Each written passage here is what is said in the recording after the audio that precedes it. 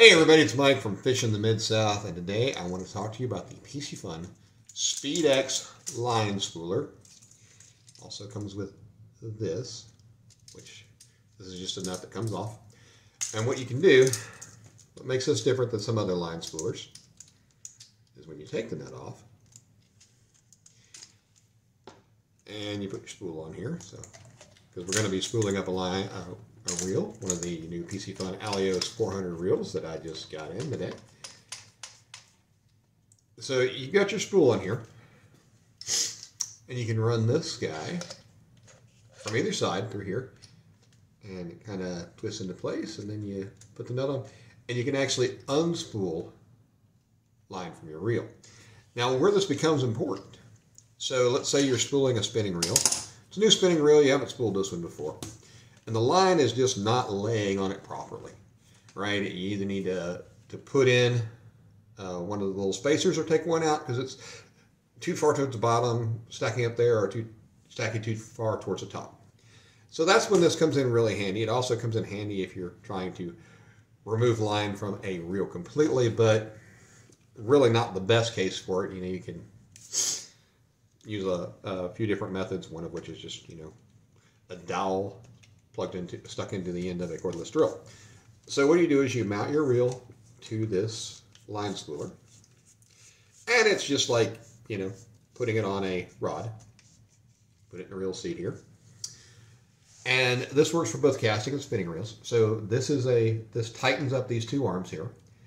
And they've got a little plastic piece that goes in, the spool pivots on, or rotates on. And you can tighten this up so it gives you some pressure. You don't want to, you know, go, you don't want to hulk out on it or anything. And then there's this piece at the top, right? And you can see it goes into this spring loaded piece here. So if you pick it up and turn it, then it can spin. So it works great for spinning reels.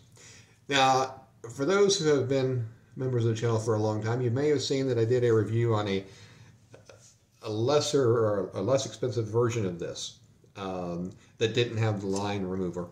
And actually, I was not a big fan of that one. Uh, I didn't see the purpose in it as much.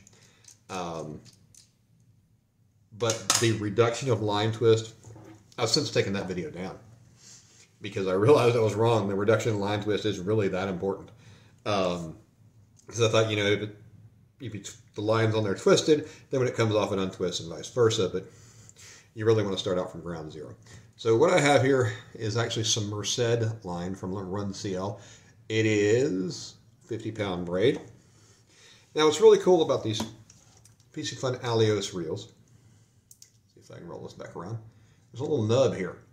And you can tie your line around that nub and you don't have to worry about your braid slipping at all because it can't. Because it, it, it actually sticks out and you can you know, tie your line right around it. So that's what I'm going to do here. As I get all my little ducks in a row here. So we just run this through the uh, through the level line hole here. And we come around. And I'm just going to do a simple overhand loop knot. Double it over and it's not a slip knot, nothing like that. Tighten it up. So I've got this loop that, that doesn't slip. And normally, you know, you'd want to tighten that down. You'd want it to slip down as tight as it can, but it doesn't matter in this case because that little, once I get the line cut here, that little nub that sticks up, this goes around it, and it, it's like got a mushroom head on it, or having kind of like a screw head it's not a screw, but you know, so it, it it's larger than the thinner diameter.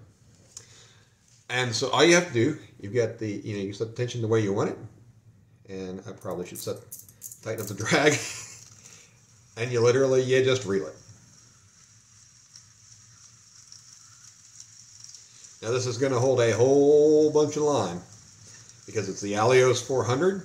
And I got it because it holds a lot of line.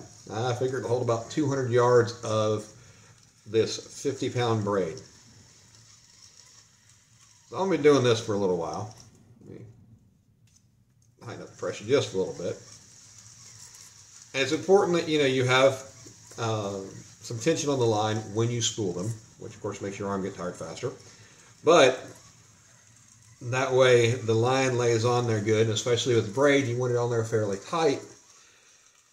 Because if you don't, then when you pull, it's going to just dig down deep. So we're going to go ahead, we're going to spool this little guy. So the price of this on the Piscifun website is $40. They're currently sold out. Um, I will post a Amazon affiliate link to this in case you would like to buy it. If you go through my link, then I get a little bit of money out of the process. Doesn't cost you any more. Um, it just basically gets me a small commission on it. So I'd appreciate it if you find this is a useful item for you. Another thing that I could should talk about here. So this little gadget here, so you can tighten this and then it snaps into place. But this, if you need to lengthen or shorten it, you can. Um, especially for a spinning reel, I like it further away. And even for a casting reel. Um, but it does close down a lot so that, you know, for storage and things like that. The one thing that I wish it had was some way of clipping this piece to it. Um, because I find that I will find one piece and not the other. And of course, the piece that I use the most is this main piece, not the uh, the unwinder. And I tend to fill my, fill my spools too full, so I'm going to stop a little short here. Um, I've got a good 16th, maybe a little more of uh, line left, or, or spool left before the line. And that's it. Then you just snip it off and you are good to go. And this will hold bigger spools.